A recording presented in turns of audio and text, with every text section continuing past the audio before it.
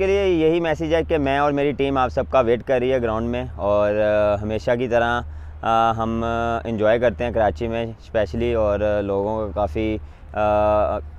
Support मिलता है और जिस तरह वो हमें चेयरअप करते हैं इन द ग्राउंड और सोशल मीडिया पे तो मेरे ख्याल से मैं मैं इस बारे भी पूरा पूरा उम्मीद हूँ और जिस तरह आप लोग आएँगे और सपोर्ट करेंगे और मेन चीज़ ये है कि एस का ख्याल रखिएगा मास्क को ज़रूर पहनिएगा क्योंकि आपकी सेफ्टी बहुत ज़रूरी है।